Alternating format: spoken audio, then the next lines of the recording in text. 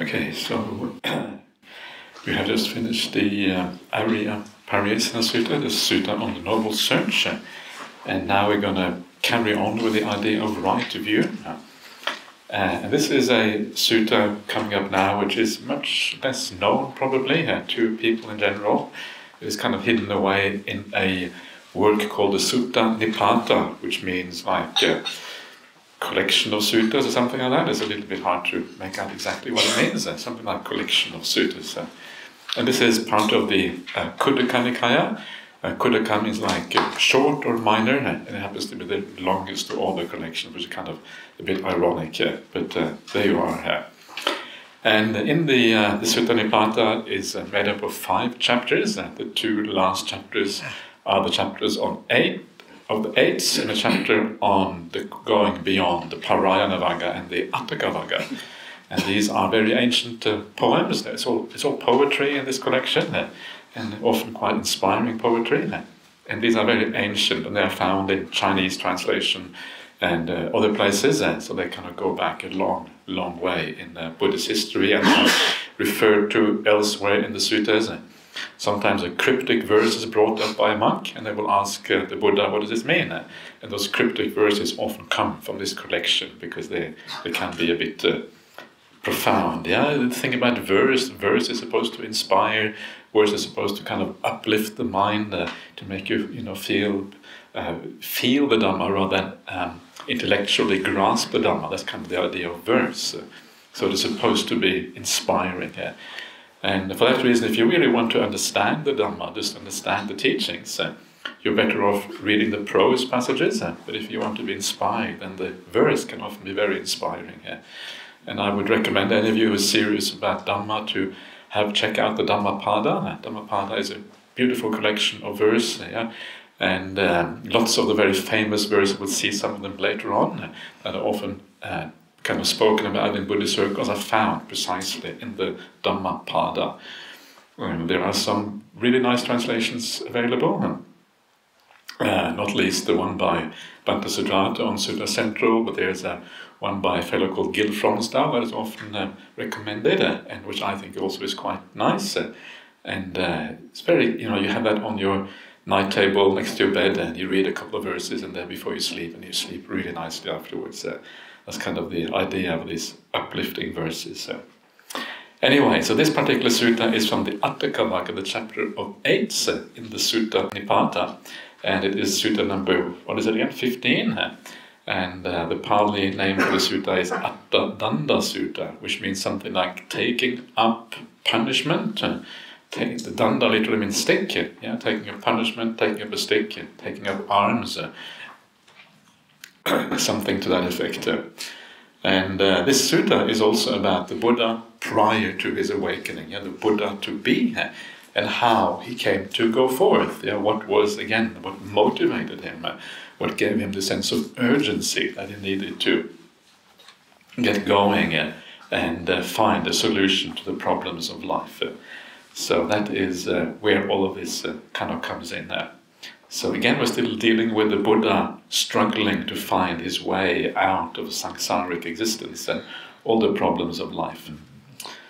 So um, here we go. So I'll, uh, maybe what I'll do, I'll read out the whole uh, poem first of all, and we can actually this is not the whole poem; it's only a short part of it. It goes on much longer, but this is the part which has to do with the right view. And then after right view comes the idea of the path of practice, and then comes the idea of the arahant, the, the uh, fully awakened one at the end. But I'm just looking at the right view part of this sutta. So this is how it goes: peril stems from those who take up arms. Just look at people in conflict. I shall extol how I came to be stirred with a sense of urgency here. I saw this population flounder like a fish in a little puddle. Seeing them fight each other, fear came upon me. The world around was hollow, all directions were in turmoil. Wanting a home for myself, I saw nowhere unsettled. Yet even in their settlement they fight, Seeing that, I grew uneasy. When I saw, then I saw a dart there, so hard to see, stuck in the heart. When stuck by that dart, you run around in all directions. Uh, but when that same dart has been plucked out, uh, you neither run around uh, nor sink down.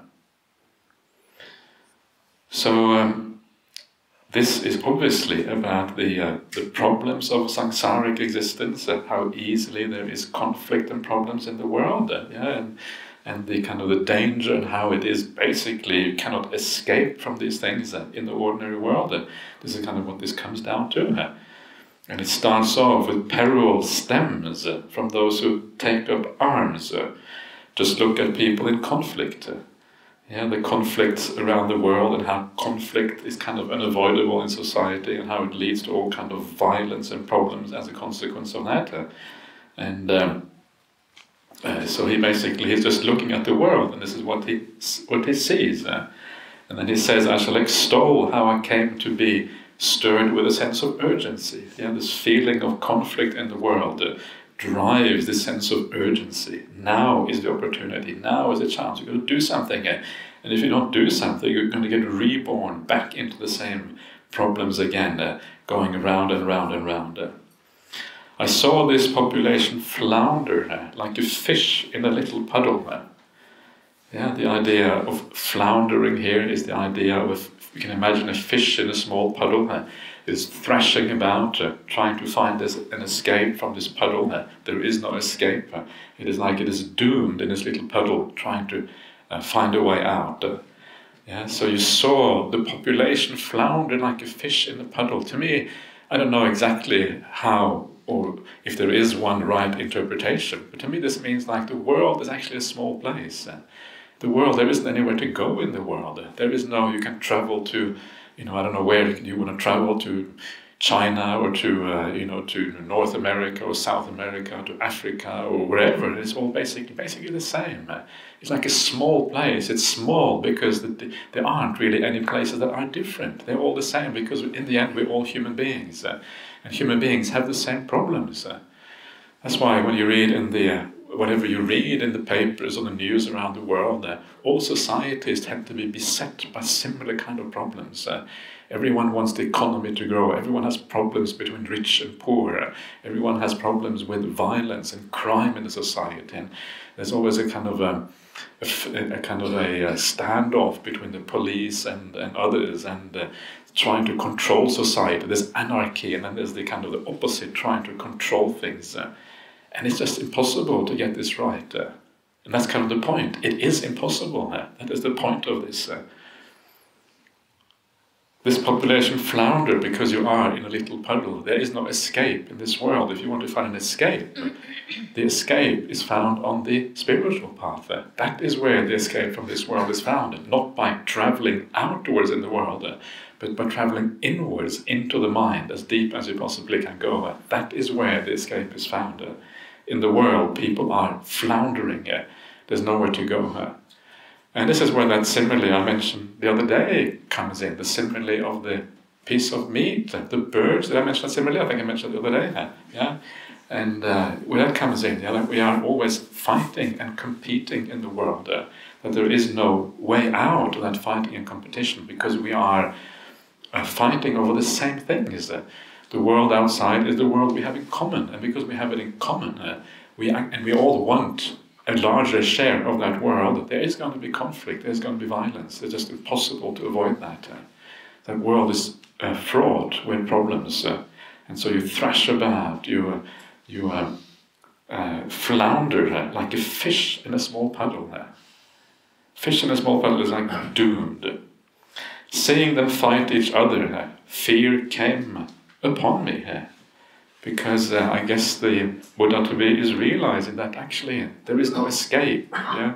That fighting uh, uh, is, is endemic, uh, it is part of nature, is part of the way things are. Uh, and that is kind of the realization that dawns on you. Uh. It is interesting how in the history of the world we always try to create utopias. It's kind of fascinating, isn't it? You see the, and very often, whenever we try to create utopias in the world, we make things worse. Uh, yeah, we, kind of the communist utopia or socialist utopia. Uh, I don't know if capitalism is an utopia. I don't know. Maybe it's kind of utopia as well. Uh, But when we try to kind of create this pure society based on an idea, it always fails and it leads to disaster instead of anything positive. Places like Cambodia is kind of a very obvious case. you know, the regime there based on the idea of uh, if we just purge the people who are problematic, then everything will be fine. But it's a misunderstanding of the nature of the world. The, it, utopias are impossible from a Buddhist point of view. You cannot have a utopia because things are impermanent. Things are you cannot have a stable society in which things are, you know, always right, a stable kind of peace. This is impossible. And one of the things that undermines that sta stability are precisely the human defilements, because human defilements want more for themselves. Whenever someone wants more, they're going to fight for that, they're going to create conflict. You know, even like in the uh, old Soviet Union, the uh, people on the top were very well off. They were looked after. They had special things because they had the power to get that for themselves. And so they used that power. Why? Because of desire, because of delusion, because of these things. These things undermine any kind of stability you have. So if you have a democracy, you can imagine that that democracy will be overthrown eventually. It will not last forever. That's impossible. Nothing lasts forever. When you see kind of powerful individuals or corporations trying to muscle themselves in on the democratic process and taking over and trying to gain more power, that's to be expected. Because that's exactly what the defilements of the mind do. And you cannot create a perfect society from a Buddhist point of view that will uh, withstand those forces of the mind. They are far more powerful because these are the root things that uh, kind of drive us, that make us be, make us who we are, and make us human beings. Eh? So that's kind of uh, unpleasant when you realize that, uh, because you realize there is no perfection in that society, in the world outside. Uh, there's always you're always playing catch up. Uh, you're playing catch up with uh, uh, the forces that make things fall apart, uh, forces that actually destroys society. here. and you never can never be on top of the situation. You're always slightly behind, trying to kind of solve issues that are, in the end are insoluble, unsolvable, or whatever. Um, so fear comes upon you. This is the Buddha to be, right? He becomes fearful because he realizes there is a problem here. Uh, what is the uh, bhaya is the word, and bhaya means like fear. That's exactly exactly right. Uh, so um, the world around was hollow. All directions were in turmoil. The world is hollow. This is this idea again that there is nothing to hold on to in the world. There is no self. There's nothing that is stable. There's nothing you can grasp onto. As soon as you start trying to hold on to anything in the world, uh, that thing will shake, that thing will quiver, that thing will wriggle its way out of your grasp. You cannot hold on to things uh, because they are inherently unreliable. Uh. I like the idea of trying to stand somewhere. Whenever you're trying to take a stand on something, a stand here is my kind of simile for attachment yeah? Because when you're standing somewhere you feel safe. Okay i can stand here. The ground is safe. It is not a marsh or a kind of quicksand but the ground is solid. It's granite. Okay i can rest of course you can't rest uh, whenever you take a stand whenever you attach or you hold on to something or you rely on something uh, that is going to take be taken away from you uh. it is as if everything is always quaking a little bit uh like an earthquake going on. And sometimes it's a small quake, and other times it's a big quake. And when it's a big quake, you fall over because the uh, impermanence is so great. Uh, it's like when you die or something big happens in your life, uh, the big quake comes around. But it's always there, always shaking a little bit. Uh, and underneath the surface, the tensions are building up. You can't see them building up. Uh, just like in real life with these kind of fault lines, the tension builds up and builds up until one day, bang, it releases its power and it's like that in our lives. Tensions building up under the surface, and then bang, they come out into view. There's a war in Ukraine, there's whatever there is. Uh, and there's this death in your, your, your in your body. Uh, your, your body dies because it's uh, the cancer has been building up, whatever it is, uh, and the forces are so strong. Uh.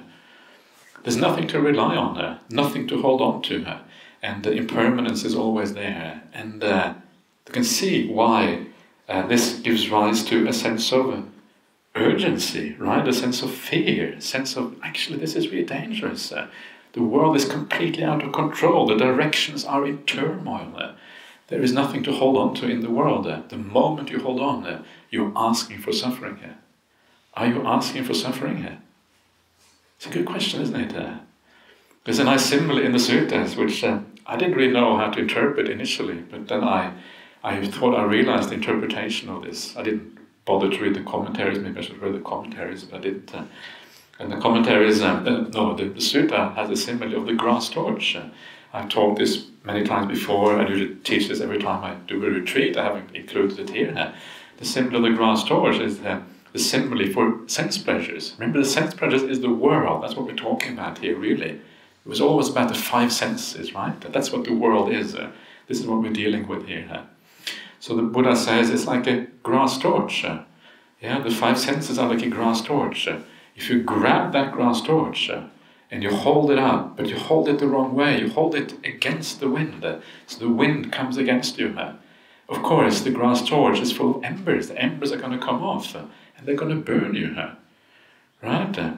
So this is the way. That, this is the problem with the world of the five senses. We grasp onto things. We grasp onto these burning things, uh, and then the embers come off, and they burn you, and then you either you have death-like suffering, uh, or you actually die as a consequence. Uh. And what is that wrong way of grasping the grasp? What is that? What does it refer to?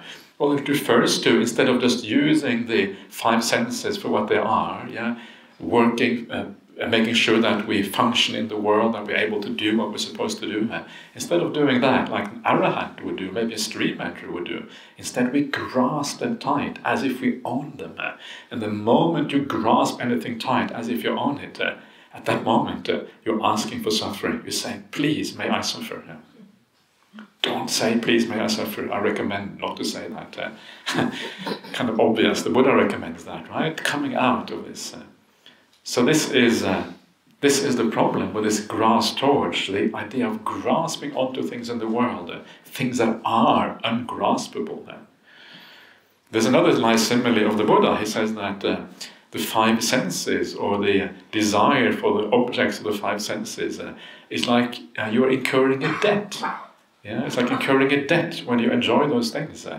And the debt is exactly this. The moment you grasp, the moment you hold on, then at some point you will be forced to let go whether you want to or not. in fact, you can't let go, so the thing disappears and then you grieve and you sorrow as a consequence. Yeah, you incur a debt every time you grasp onto these things. So how do we overcome this attachment then? Because uh, I sometimes I hear Buddhist people say, "Yeah, I'm a, I'm a Buddhist. I shouldn't attach." Uh, right? Shouldn't attach. Is that really a solution? I, I mean, yes, maybe you shouldn't attach, but that doesn't really not very helpful to say I shouldn't attach. Because is it really possible to just detach? And the answer, of course, is no. You cannot do that. So the answer to detachment is that uh, by practicing this path in the right way, by living well, by the simple fact of living with kindness, you are actually detaching.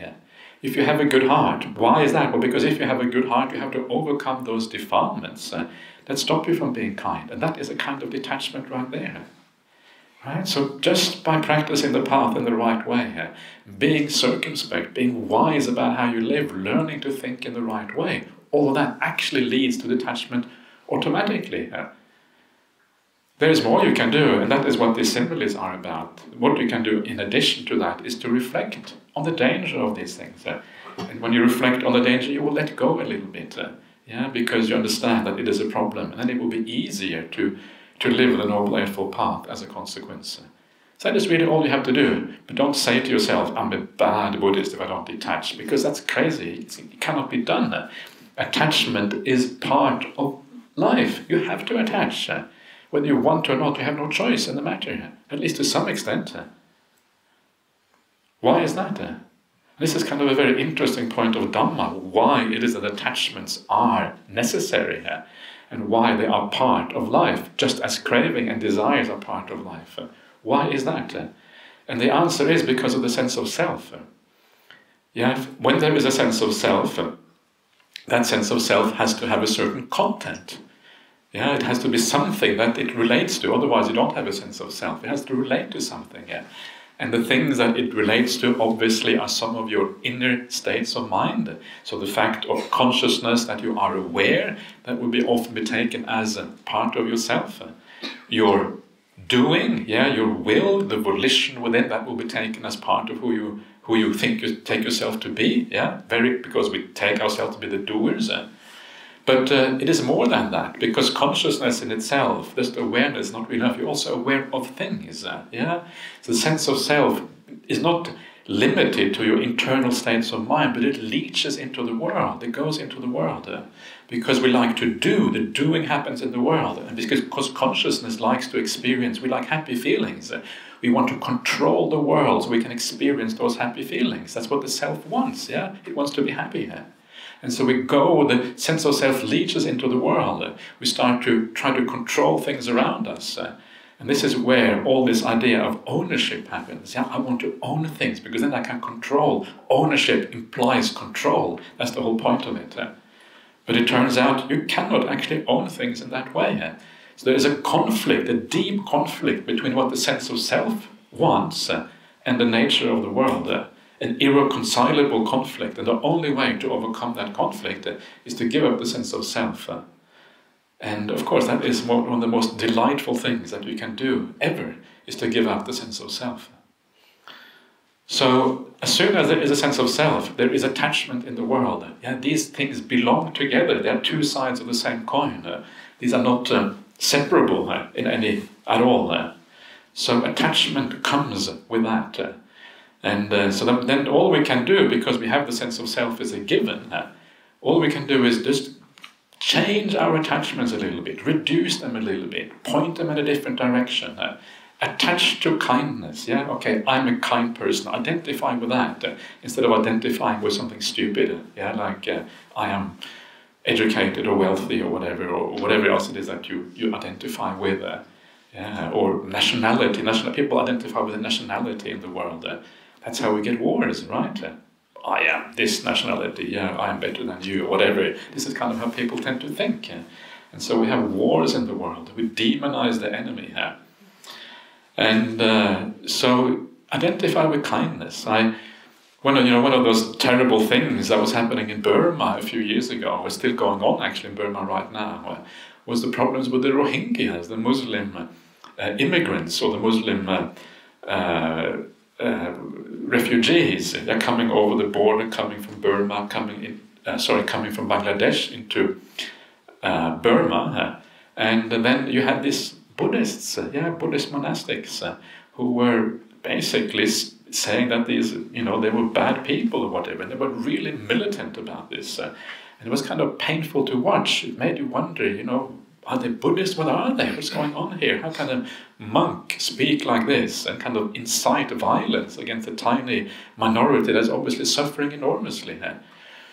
And it, I don't know if you remember, but it made its uh, because I it made its way on the front page of Time magazine. Time magazine is one of the largest magazines in the world. With I don't know, uh, at least it was then. I'm not sure what it is now. Uh, Four million copies every week or something and uh, kind of had the Buddhist face of evil. Yeah, I think was the cover of Time magazine. It had a picture of this monk, yeah, this Burmese monk who was kind of inciting violence against the, these Muslims. And uh, why does that happen? Well, it happens because we identify as Buddhists. Yeah, I am a Buddhist. These Muslim invaders, they are threatening Buddhism, and because they are threatening Buddhism, and this is my identity, I have to save Buddhism. That's kind of the idea. But that is really problematic, and this is why we should avoid this kind of national identity or religious identity, yeah? identify with something. What we should instead identify with uh, are principles to live by. Uh. So if you identify as a practicing Buddhist, uh, then you are okay, because at that point you will be kind towards these Muslims, you will be kind towards these uh, refugees, uh, because you're identifying with the kindness rather than identifying with the nationality or the religion or the group that you belong to. That's kind of a way of we have to identify with something here. This is a way of kind of elevating your identity to something higher, attaching to something more beautiful and more conducive to practicing the path. That is what we want to do. And then gradually, as we do this, we kind of go up the ladder of attachment, attachment to fine, finer and finer things. As you do this, you get into meditation practice, you attach a little bit to meditation. Please attach to, to virtue and meditation. Right? It's okay. It is not bad. People say you shouldn't attach to this. You should attach to these things. Uh, because if you don't attach to those things, uh, you can attach to bad things instead. Uh. it's true, right? Because we have to attach. That's the whole point. So because we have to attach, please attach to these good things. People who say you should attach to virtue have lost the plot. They don't know what they're talking about. The reason they say that, uh, really, is because if you look at the there is something called you know, like, like, the three fetters, yeah, the three things we have to abandon to become a stream enterer. Yeah? And one of those fetters is called silabbata paramasa, which means holding on to sila. Sila is virtue. Yeah? yeah? So they say, okay, the stream to become a stream enterer, you have to give up this fetter. Yeah, so it means that I should not attach to virtue. Yeah, I should. It's kind of sila bhatta. Bhatta is like a, observances or you know something like that, kind of things you do basically. Yeah. And um, but uh, it doesn't mean that this this is not the path to getting to stream entering. This is the result of becoming a stream enterer. Yeah. When you become a stream enterer, it is a something that happens in your mind that you're no longer attached to virtue. And the reason that you're no longer attached to virtue is because it becomes part of you. Huh? Yeah, it becomes so deeply embedded in you psychologically uh, that you cannot avoid being virtuous anymore. You have to be virtuous. Uh, and that's why you don't attach to it, because it's part of who you are now. But before you become a stream enterer, you better attach to that virtue a little bit. If you don't, you are not going to keep your precepts, you're not going to live with kindness. Yeah, you have to understand the importance of these things, otherwise, it's not going to work. And uh, by attachment, I just mean, you know, that determination, that uh, desire to be, to, to be kind, yeah, to be nice, not to be a nasty character. That's really what it means, uh, yeah. That is a little bit of attachment, a little bit of holding on. So please hold on a little bit to these things. Uh. And then comes the meditation practice, and this is also very interesting because then you go even higher again, right? Especially when you start to get into samadhi, uh, and people tell you, "Oh, don't go to samadhi because you get attached." No, that's good to be attached to samadhi because these are precisely the higher attachments. Uh, if you don't attach to samadhi, you can attach to something else which is lower. What do you want to attach to, the higher or the lower? Attach to the higher. Right? So this is the right way of thinking about this. And then when you are attached to samadhi, but then you learn how to deal with that in such a way that you can go beyond. You learn to have insights, you go to even higher states of samadhi, and then you transcend it. But a degree of holding on to samadhi is actually good. There is a very nice um, saying in the uh, Pasadika Sutta, which is the uh, long discourse, the Buddha number 29, uh, uh, which is something uh, like um, uh, by attaching the, what is the Pali word again uh, there, anuyutta or something like that? by attaching, which means basically holding on or attaching, by attaching to four things, yeah, you become a uh, no, sorry, by attaching to the four jhanas, you can expect only four results. Uh, what are those four results? Uh, stream entry, once returning, non returning, and arahantship. The four stages of awakening you get by holding on a little bit to those jhanas. Uh. So, yeah, we because of the sense of self, uh, some degree of attachment is required. So just make sure you attach to the right thing. This is the idea here, kind of a ladder of attachment. Uh, and the same is really true for desires as well. You have to have some degree of desires. It's impossible to live without desires completely. Yeah? So again, you you ennoble those desires, you ennoble your attachments, and this way you go up this path. So yeah, all directions are in turmoil, yeah, because everything is impermanent, everything is unreliable. And the Buddha says, wanting a home for myself, I saw nowhere unsettled. And the idea unsettled here apparently means something like unsettled by impermanence or unreliability. So you're looking for a home. Yeah, we all want a home for ourselves because a home is where we can relax, we can enjoy. A home is where we are safe, right? That's the idea. But actually, not really safe in that home. That's the problem. That's what the Buddha is saying here. So, that's what the idea of a home, a place where you can withdraw from the world. You can enjoy some nice food. You have a nice kitchen there. You have nice company with your friends and your family. Uh, you have some entertainment and all these kind of things. Yeah, you're protected from the rain and the elements. So, a home is a very important thing, and people have always had homes. It seems throughout human history of some kind or another. Uh, but it is not as safe as you think. Yeah, and uh, I kind of in Australia, we have all of these um, natural disasters like fires, and not a few years ago we had a fire coming through very close to our monastery, uh, and one of the little villages nearby burnt down. The whole village is kind of gone, basically, uh, and uh, you can see people grieve. Yeah, they really, really grieve uh, because this is their home. All their belongings were in that house. Everything they owned. Suddenly, all they have is the clothes they're wearing. Everything else is gone. And people are really, really distraught. This was my safety. This was where everything that mattered to me was. And now it's all gone. So we're looking for a home, but those homes are not real. And that is where the Buddha says, find the refuge within. The refuge, the real home, is actually inside. And there's a beautiful saying by Ajahn Chah, Ajahn Brahm's teacher, that uh, you find the, uh, uh, the real home is the samadhi inside. Yeah, that is your real home uh, because there you really are safe eh? because your inner life, if you are able to develop samadhi and you're able to take refuge in that, of course, that no one else is able to, that is not touched by the outer world because precisely it is beyond the outer world. Eh? You have left the world behind, you've gone to the end of the world.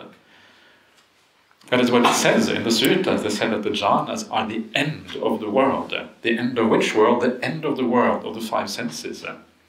So that's kind of a nice way of thinking about these uh, samadhi states. The end of the world. You, the world can no longer touch you. That is your real home. That is where you can find safety. That is where you can finally relax a little bit uh, until you have to come out of that jhana state and then the relaxation is over, unfortunately. Yeah. Then that's why you have to become an arahant and get out of this mess once and for all. Uh. So, uh, no home for yourself, uh, yeah, that is kind of problematic. And uh, then he says, uh, yet even in the settlement they fight, even if you do find a so-called home for yourself, uh, you keep on fighting. Yeah, yeah. Sometimes we fight within our families.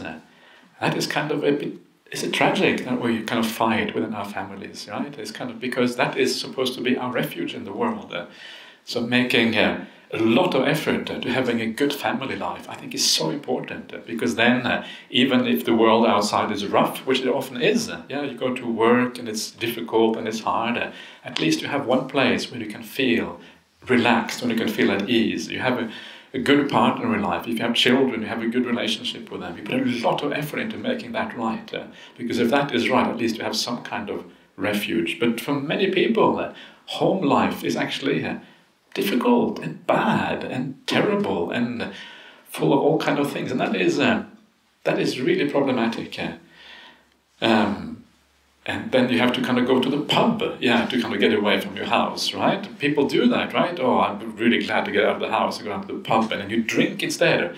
Great, really good solution to, to, to the problem.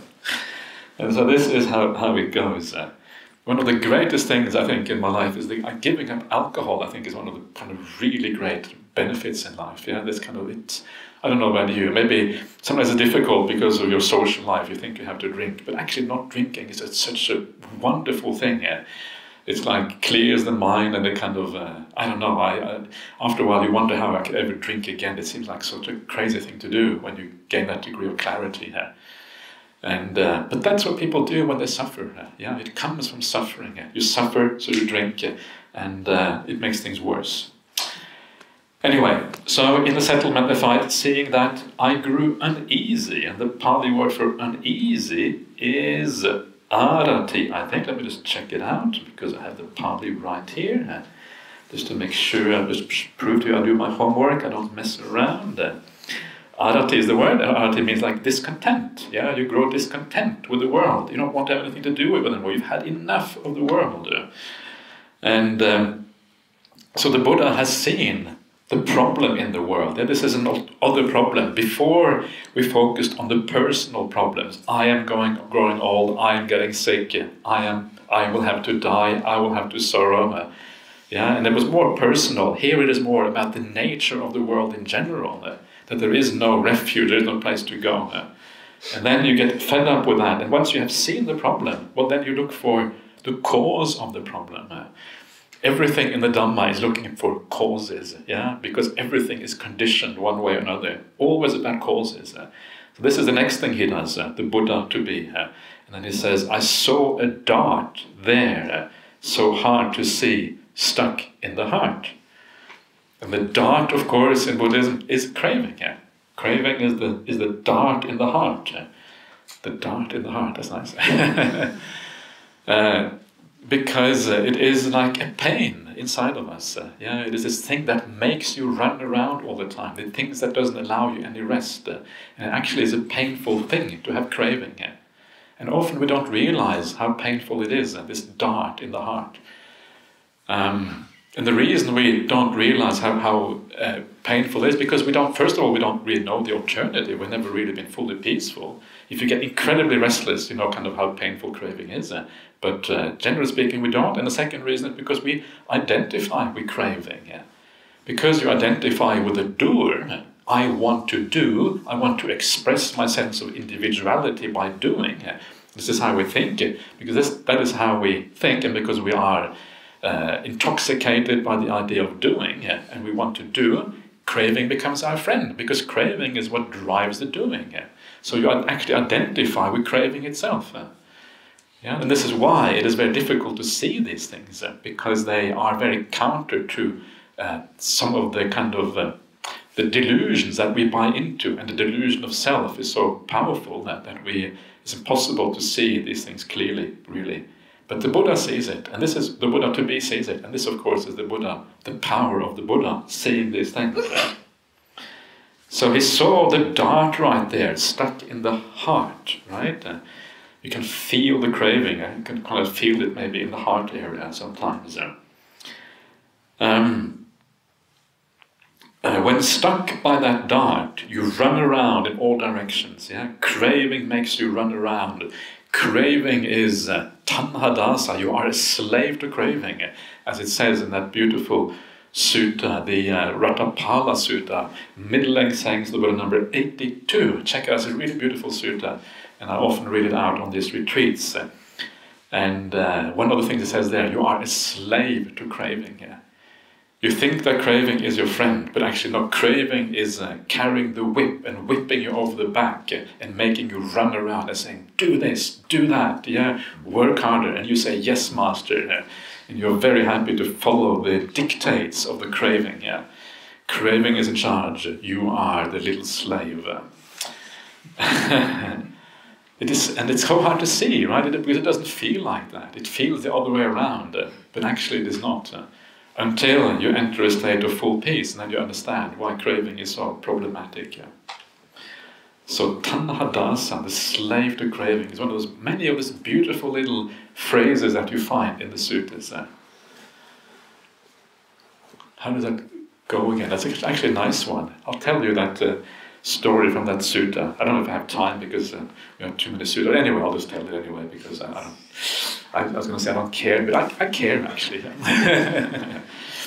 but um, this is the story of famous story of this uh, young man, uh, yeah, who wants to become a monk. And many of you will have heard this story before because it's quite famous. and he becomes the uh, person with the greatest faith. Yeah, the, in the Anguttara Nikaya ones, you have like the preeminent disciple in wisdom, the preeminent disciple in psychic powers, and then you have the preeminent disciple in, in faith. And this happens to be this young person. His name is Ratapala. And uh, so uh, he, uh, the Buddha comes to his little town where he's staying. It's called Thullakotthita. This is the name of the town. It's kind of a very obscure place, only mentioned once, uh, probably very small. And so he goes to listen to the Buddha. And after the Buddha has given the sermon, he knows this is it. I have found exactly what I want to do. His confidence is absolutely firm. So he goes up to the Buddha and says, Can I please ordain? And the Buddha says, Well, actually, you need a permission from your parents. Have you got permission from your parents? He says, No, but I will make sure I get permission from my parents. He is really determined, right? There's, there's nothing is going to stop him from ordaining. So he goes back to his parents, and predictably enough, his parents say, No way we're going to ordain. Absolutely no chance in the world. You are our only child. You are the inheritor, and you are the one who's going to inherit all our wealth. It's a very wealthy family, very, you know, very important family in that little town. You're going to stay put. You're going to kind of be here.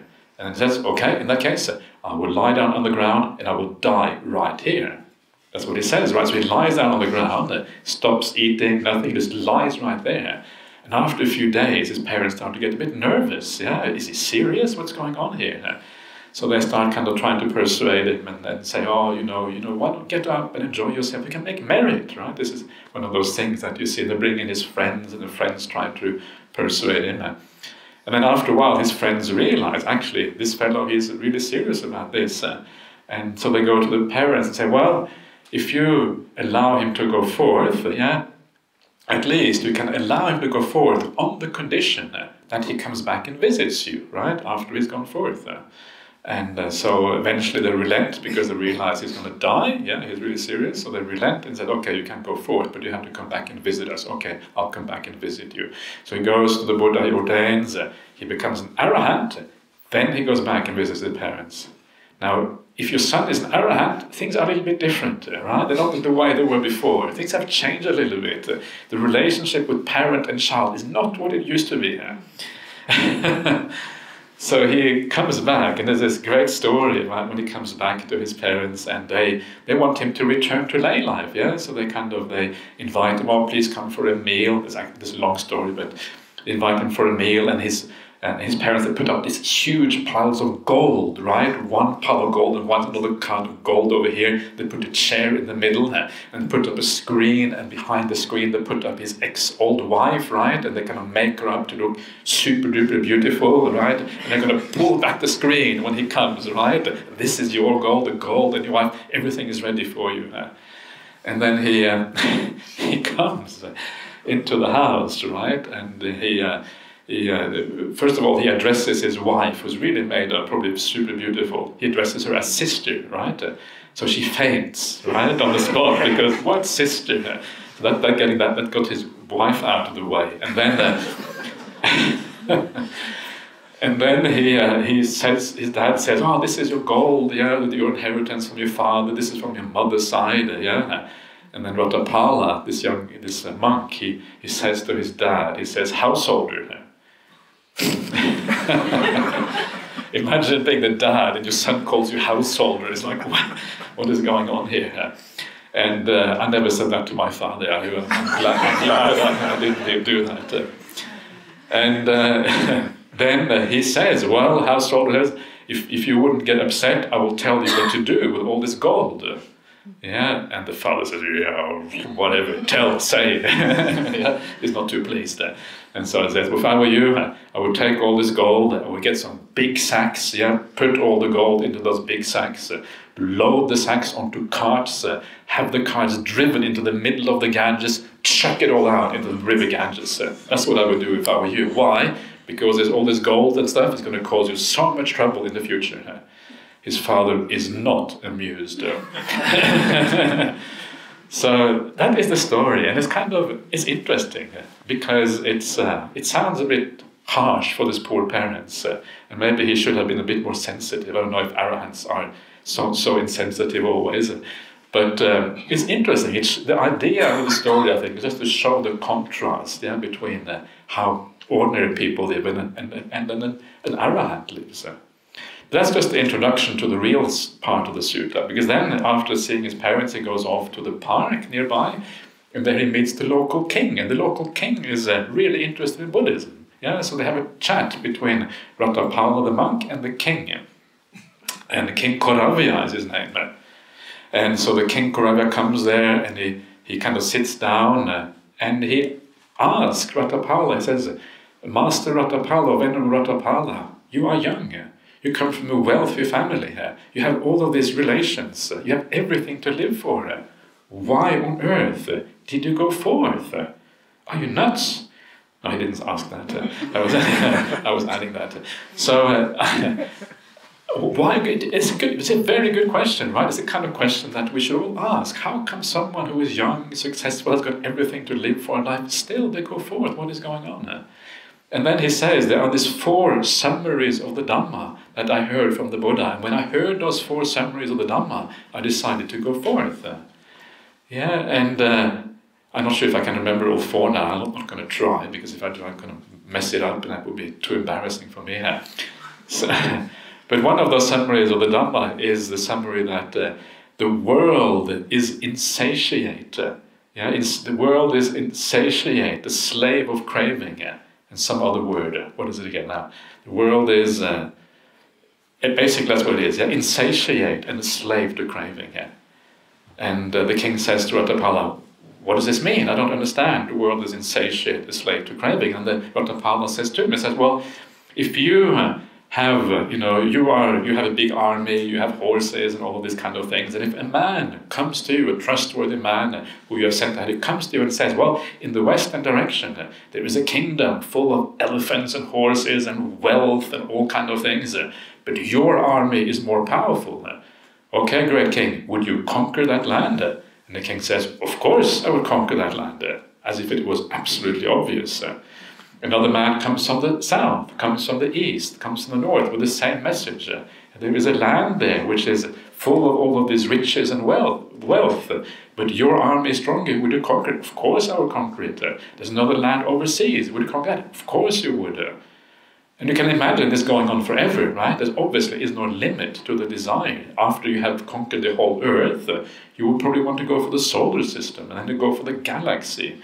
And then when they come to the galaxy, you will go for the non universe. And I reckon this is why in physics they invented this idea of multiverses, uh, because craving was not satisfied with one universe. right? That's what I reckon. That's what I reckon is the cause of this multiverse theory. There's no other logical reason for it. Anyway, so, and that is the idea of being a slave to craving, that idea of being insatiate. There is no satisfaction in that world. So, if you want to be satisfied, you have to go in a different direction, and that is the spiritual path. And this is really so what this is about. And that, this is why, of course, Ratapala went forth. Even though he was wealthy, he realized actually it doesn't give satisfaction here. So um, you're stuck by that dart. You run around in all directions, driven by craving, right? There's no end to that craving. There's always more to be had. But when that same dart has been plucked out, when you eliminate that craving, you neither run around nor sink down. You stop running around, but that doesn't mean you become depressed. People might think that if you take out craving, it sounds depressing because what are you going to do if there's nothing to drive you on in the world? But of course, that's missing the point uh, because taking out craving, if you do that by following the Noble Eightfold Path, uh, you get enormous amounts of happiness at the same time. Uh, so it's actually extremely satisfying. So you don't sink down. In fact, you are lifted up, elevated. It's like you become filled with helium and you float up in the world. That's kind of the idea of giving up that dart. So this is uh, the Buddha, yeah, the Buddha to be, seeing the problem in the world. You can see he sees the problem in the world from many different angles here. Now it's more like a kind of panoramic view of the problem in the world. And uh, there is a beautiful perception in the suttas. The Buddha often talks about developing certain perceptions. And this perception is called the Sabbaloke Anabhirati Sanya. Uh, and it means uh, the perception of non delight in the whole world. Sabbaloka Anabhirati Sanya. And this is what this is about. Yeah? Seeing the whole world as really not worthy of our involvement. Yeah? It's actually not all that interesting. So you reject the whole gamut, the whole thing, the whole world is rejected in one go. That is quite a nice way of contemplating it. And right now, when the world is going through so many problems, yeah, and people around the world are getting depressed and sad because there's COVID, there's climate change, there's wars, there's uh, the big powers are saber, saber rattling with each other, and there's all these things going on. It seems terrible. But no, it is an opportunity, and that's the whole point. It's an opportunity for right view. It actually, if you use this wisely, it's a wonderful opportunity to reject all of that stuff because you know it is unsatisfactory, it is bad, it is pointless, it is always going to lead to trouble, it is unreliable. And then you reject that world and all those problems and you turn in a different direction, which is far more conducive to happiness. So, seeing the problems in the world and dealing with them in the right way actually leads you out of the problem rather than into the problem. Uh, that is such a beautiful way of thinking about the problems in the world uh, because it gives you hope. It gives you a, feeling that actually, no, there is a way out. It's just in a very different direction from what you thought. It's a beautiful message from Buddhism. Uh, and this is a kind of message that we can really deliver to the world. There is an alternative. You're just looking in the wrong place. That is the problem. Sabba loke anabhirati found in a number of places in the sutras. I really like that idea of uh, kind of rejecting the whole world. Uh. So the Buddha sees the problem, the dukkha, then he sees the cause of the problem, which is the dart in the heart, the craving. Uh, and then he sees the solution, which is the removal of that dart. Yeah? So these are the three kind of right views that arise at this particular point. Uh, the path comes next. I haven't actually included that uh, because uh, um, just too many verses, I thought. So uh, that is not part of this here, but of course we're talking about the path all the time anyway. Yeah. So um, there you are. That is the sutta of taking up arms. And um, yeah, so uh, again, just about a right view, really, and this is what this uh, is about. So we have a bit more time. Uh, I think these sessions are supposed to last an hour and a quarter, so until five o'clock. So we're gonna, I might as well start going on to the next sutta. Are you ready for that? Yeah, okay. I'm, I'm amazed. You are really keen. That's wonderful. I'm really happy about that, actually. So, uh, so now we have looked at the kind of personal problems, yeah, of right view. It's seeing, understanding yourself in the right way. We've looked at the world in general from a point of right view. And now we're going to look at uh, these things that give rise to joy in meditation. And these are also, in a sense, based on right view, right? Understanding the world in the right way. And there are six ways mentioned in the sutras that uh, anussatis, recollections that you use for giving rise to joy. And these are the six mentioned in this sutta.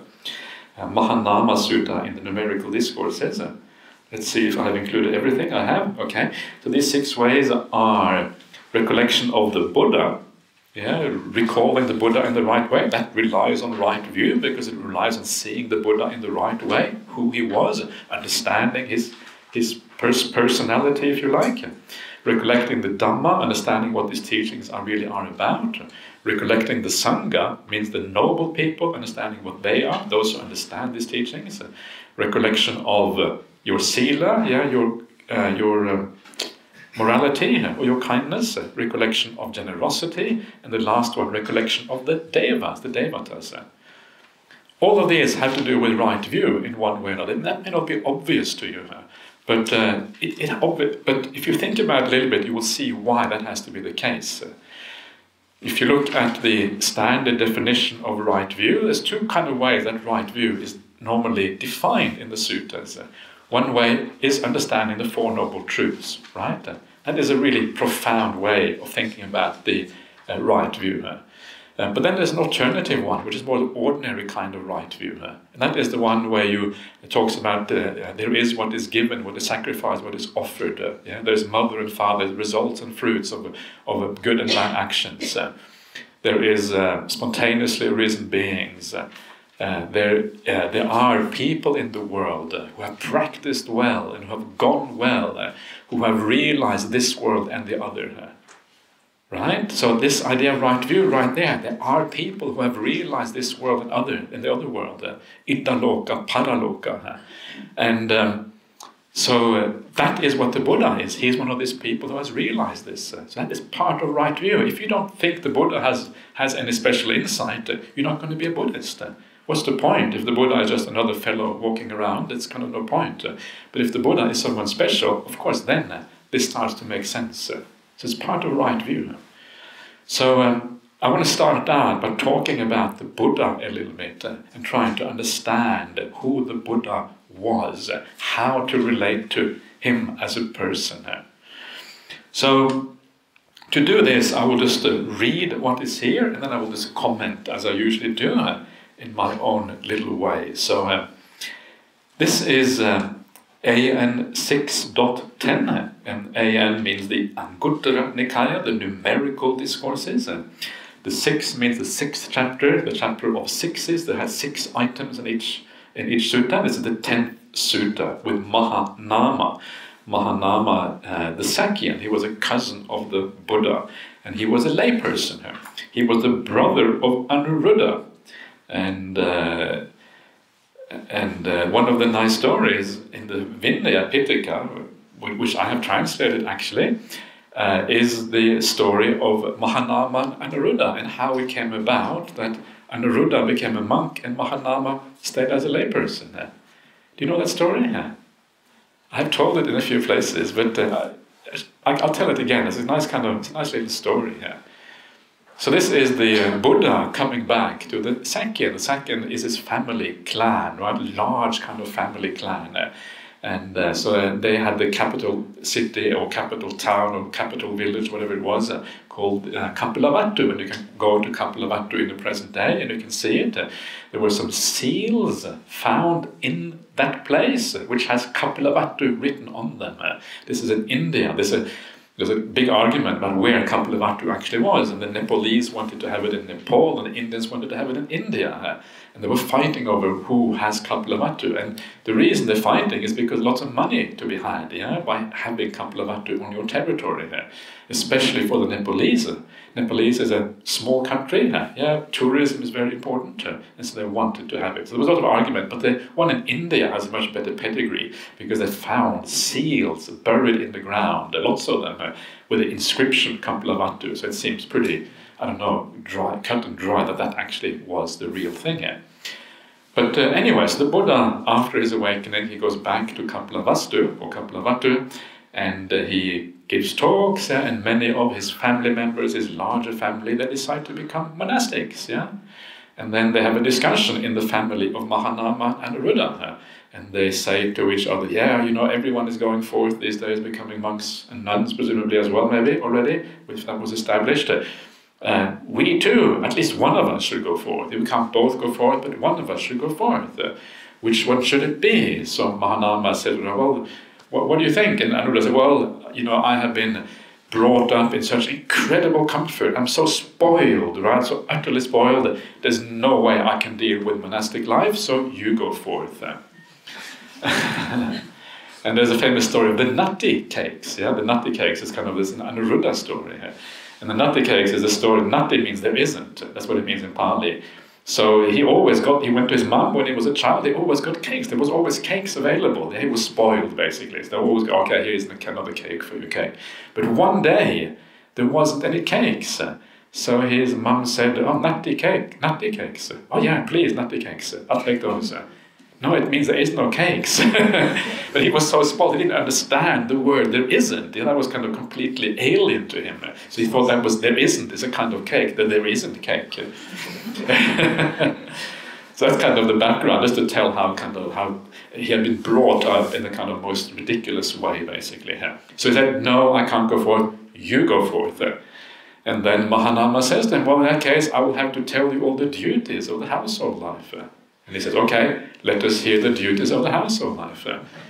And he says, well, you know, it starts in kind of in the spring, and you have to start tilling the fields. Yeah, and when you have tilled the fields, uh, you have to uh, put, you know, get all the rocks out of the field. When you get the rocks out, you kind of have to put all the seeds in. there. and after you put all the seeds in, you have to irrigate the field. Yeah, you kind of dig all this, you have to get the river in the right direction. All that. After irrigating the field, you have to drain the field.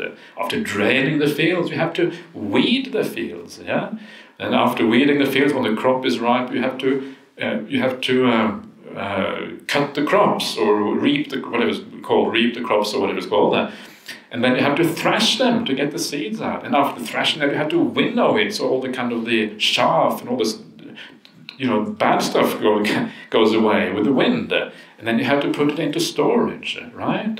And as soon as you have kind of put it into storage and it's safe, the next season begins. And Anuruddha says, What? And then Mahanama says, and our fathers and grandfathers, yeah, they did this all the while, and while they were in the middle of doing all this work, they died in the middle of that work, right? And then the next generation had to take over, and then they died, and now we are here. And Anuruddha says, in that case, I will go forth, you stay life. That's a very kind of amusing story. And so Mahanama, he uh, ended up being the householder, right? He took that on. I don't know how he was. He was very patient with his brother. I have to admit, pretty impressive character, yeah? Whatever Anuruddha would do, he would just go along with it. So uh, anyway, so this is Mahanama, and he is here, and he comes to the Buddha, and he, uh, as a good uh, Buddhist disciple, he asks him questions about the Dhamma specifically. So this is this encounter.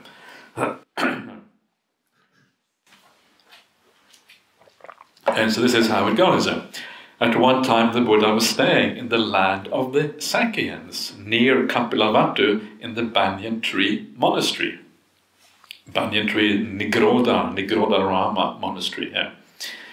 And these are the large fig trees you find in India, the banyan trees. Yeah, very beautiful trees. Uh, and the Bodhi tree is also very closely related to the banyan, banyan tree. Yeah. Then Mahanama II went up to the Buddha bowed, sat down to one side, and said to him, Sir, when a noble disciple has reached the fruit and understood the instructions, what kind of meditation do they frequently practice? Yeah, so here you have a noble disciple, Arya Savaka, and a noble disciple Sometimes it means someone who is a stream enterer or someone who is a noble person, but not always. It can also mean good people in general, right, who practice in the path properly. But in this case, it seems to mean a stream enterer because it specifically says here who has reached the fruit, right? Reaching the fruit means the fruit of stream entry, who has understood the instruction, basically means un- really understood it fully. That's what it means. Uh, so here he seems to be saying, well, I'm a stream enterer. What kind of meditation should I be doing if I'm a stream enterer? And uh, it's easy to think, well, in that case, it hasn't got anything to do with anyone who is not a stream enterer, but that is not really quite right. Yeah, but the point here is that if you are a stream enterer, then these kind of reflections aren't easy for you because you know who the Buddha is, you know what the Dhamma is, uh, and so you can just lean your mind in that direction and you feel joy automatically because you know what these things are. You know this is about the highest happiness in the world. You know this is the meaning of life. Uh, so it's very easy to lean your mind towards those things. Uh. So for those who are not stream enterers, yeah, we need to put in a bit more work. That's the only difference. But of course, we should be doing the same things. So uh, just to kind of get that out of the way. So he was a very inspiring person, Mahanama, because of his uh, profound insight into the Dhamma. And then the Buddha replies, Mahanama, when a noble disciple has reached the fruit and understood the instructions, uh, they frequently practice this kind of meditation. So here comes the first kind of meditation, yeah, or the first kind of reflection that you should be doing uh, uh, in this particular case. Uh, and um, this, so here we go. Firstly, a noble disciple recollects the realized one. The realized one is the Buddha.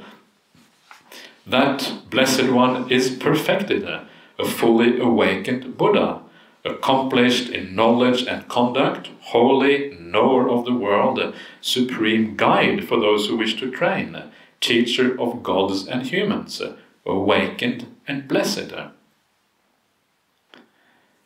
I'll just read the whole paragraph just to kind of and go back to the beginning again. When a noble disciple recollects the realized one, their mind is not full of greed, hate, and delusion. At that time, their mind is unswerving, based on the realized one.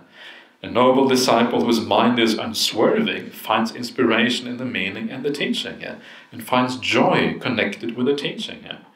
When they are joyful, rapture springs up. Uh. When the mind is full of rapture, the body becomes tranquil. When the body is tranquil, they feel bliss. Uh. And when they're blissful, the mind becomes immersed in stillness, the mind becomes still, if you like. This is called a noble disciple who lives in balance among people who are unbalanced, and lives untroubled among people who are untroubled. They've entered the stream of the teaching and they develop the recollection of the Buddha, the Buddhanusati, Buddha Nusati. Yeah, so this is how to recall the Buddha, and this is how it is always mentioned in the suttas. This is how you do it. This is this very famous verse that many of you will have heard. Itipiso bhagava arahang samma sambuddho vijja charana sampanno, etc. Right? That is the that very famous verse. Often we chant it. Yeah, Buddhists around the world chant this verse all the time. And sometimes they know what it means, sometimes they don't. And uh, sometimes, even if they know what it means, they haven't really reflected deeply what this is about. And the more deeply you reflect on this, uh, the more powerful it becomes because you start to really feel like you are a disciple of the Buddha. So, uh, so let's just start from the beginning, yeah, and then we can talk a little bit about this. And I would talk not kind of so much on each individual of these uh, qualities. These are called the Buddha guna in the commentaries. A guna means the quality. Buddha is, of course, the Buddha. And uh, there are how many Buddha gunas? I'm not sure, 10 or 11 or something like that. But anyway, whatever it is. Uh, so it starts off by saying the Blessed One is perfected. Uh, yeah, he's an arahant. Uh, this is kind of the starting point here. And uh, so this word arahant means someone who is worthy. That's kind of the root meaning of that word. It was used in ancient India for any kind of spiritual guru or teacher who was considered special. They were called arahants. Uh, and then the Buddha, of course, as he often does, he takes the vocabulary of the day, reinterprets it, gives it a new meaning, and gives it a Buddhist kind of meaning. Uh, and so in Buddhism, it means, has a very specific meaning, someone who has reached the end of the Buddhist path. Uh, so perfected in Buddhism means someone who has eliminated all the defilements of the mind. The defilements are completely gone. They have been destroyed. The anusayas, the underlying tendencies, have been uprooted. And uh, that means that they can no longer arise. In that sense, you are perfected, right? So if someone gets angry, they are not an arahant. It's kind of useful to know. If they are greedy, they're not an arahant. If they are not kind, they're likely not to be an arahant. If they are confused, they would not be an arahant. So it kind of gives you some ideas of, of who is awakened in this world. Uh. But I like this idea of being worthy. Uh. Yeah, you are a worthy person. It's a beautiful idea. What are you worthy of? And elsewhere it talks about what you're worthy of. You're worthy of hospitality, you're worthy of support, you're worthy of all these kind of things. Uh. And uh, you, know what it's like if you have a good teacher in school. Uh, you may feel that that teacher is worthy of something, yeah, worthy of a teacher's salary, worthy. Maybe you give your teacher a gift, or maybe you have a gratitude for teacher because they have done something good for you. Uh, they've taught you skills, yeah, that you need to function in this world. So you have a gratitude to a good teacher in life. Uh. But the ordinary teacher is nothing compared to the Buddha. Uh. The ordinary teacher gives you access to livelihood. Ordinary teacher gives you access to being able to make sense of the world and function in the world. Uh. The Buddha gives you access to the highest happiness. The Buddha gives you access to the meaning of life. That is the real teacher.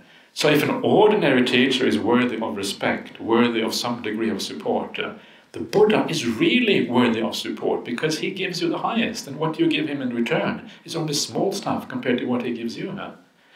So this is the idea of someone who is really worthy, yeah, worthy of your respect, worthy of your kindness, worthy of your generosity, hospitality. Yeah?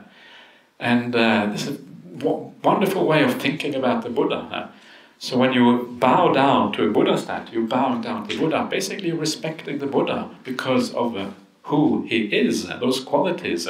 Your teacher, someone who gives you access to the greatest thing that anyone can give, give to anyone else. Buddha is the greatest teacher in the world. This is kind of the point here.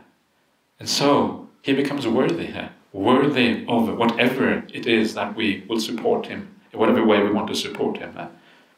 So this is the idea of perfected, and you are worthy. You are a fully awakened Buddha, right?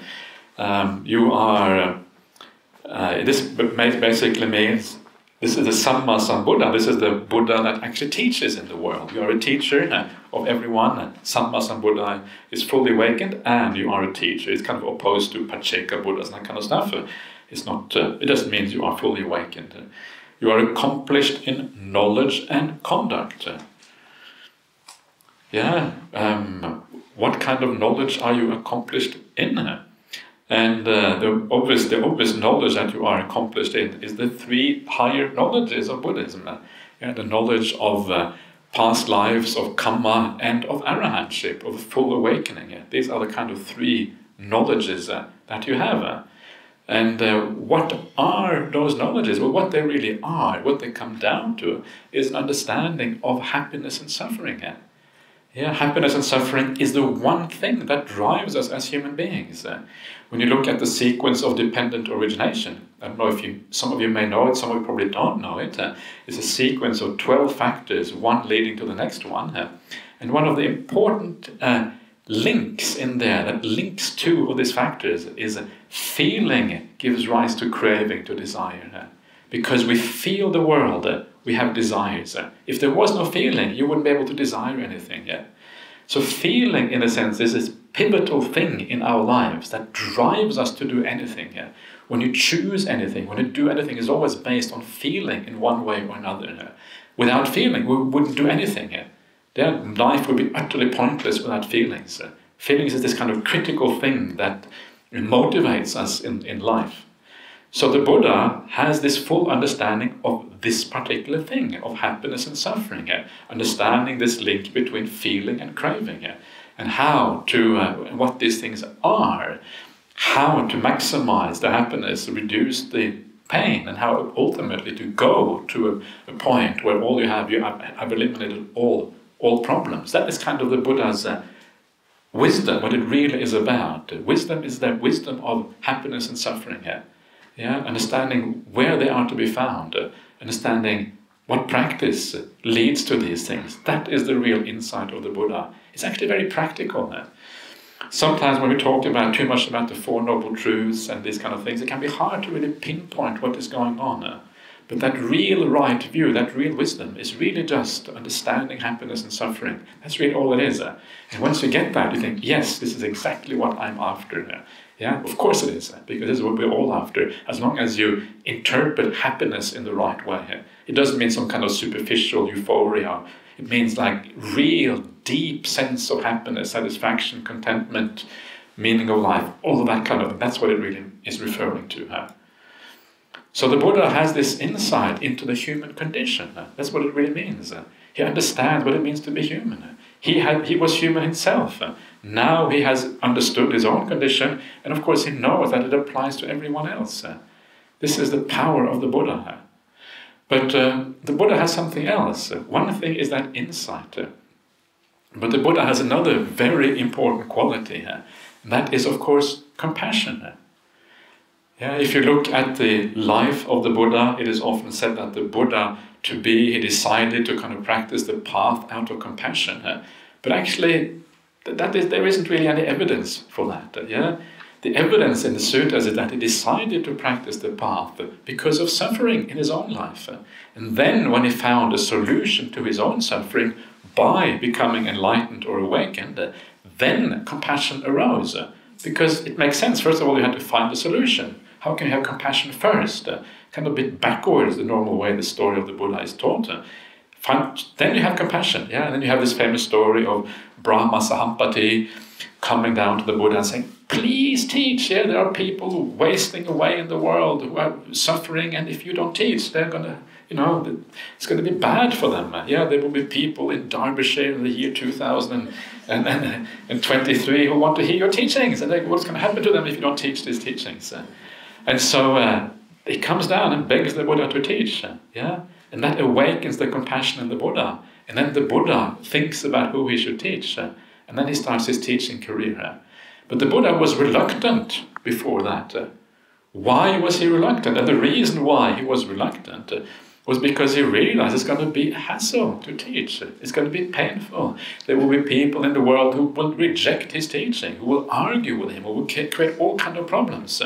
And the Buddha is perfectly happy just to sit in a cave somewhere and meditate, right? He would rather do that because that actually is real happiness for the Buddha. And he would rather not have to deal with all these people in the world. And so when the Buddha teaches you, he has no vested interest. He's not teaching you because he wants things from you. He's not teaching because he wants disciples. Uh, he doesn't want fame. In fact, for the Buddha, fame is just problematic. Yeah, it creates more problems. Uh, he calls it the dung happiness elsewhere in the sutta as fame. Uh, Milha sukha is what he calls fame.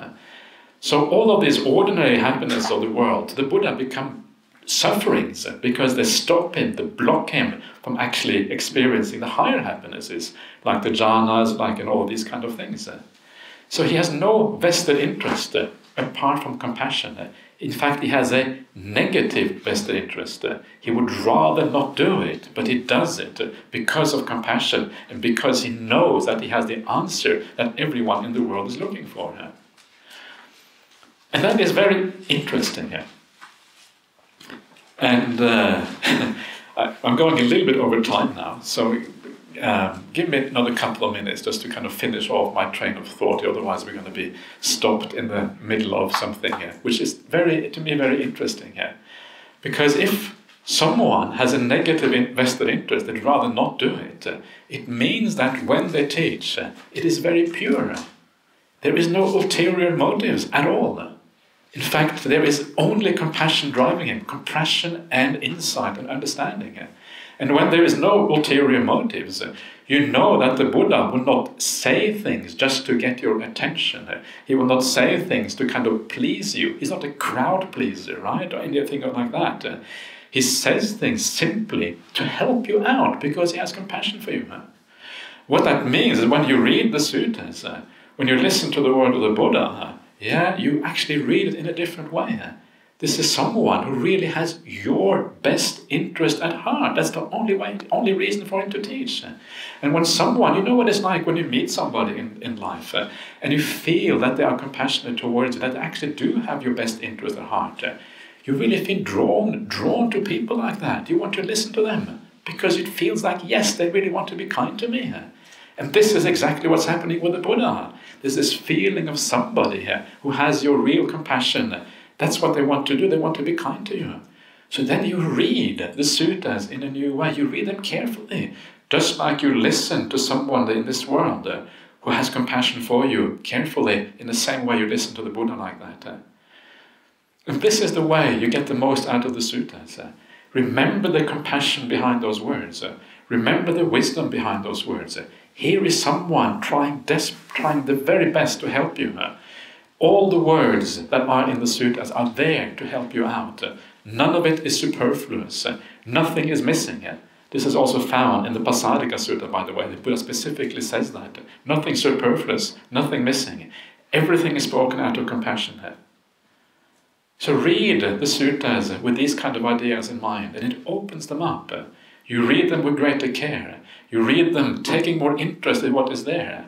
You don't reject it so easily. You don't say, yeah, rebirth, yeah, you know, ancient superstition. Uh, you don't think like that anymore. You think, wow, if the Buddha says it, uh, I can't really believe it, but at least let me have an open mind about these things. Uh, that is how you start to think when you see these things in this particular way. So my point here is just to open up, yeah, open up a sense of connection to the Buddha. This is just the beginning. I'll talk much more about this because this is, a, to me, a very important area. And uh, getting a feeling, the human being, the Buddha who existed two and a half thousand years ago, a real human being, a real teacher, someone you can meet, someone you can see, someone you can ask questions of, but someone at the same time who has the most profound wisdom and the most profound compassion in the world. Anyway, let's stop there then. So um, keep on enjoying yourself, and we'll see you back in at 7 o'clock.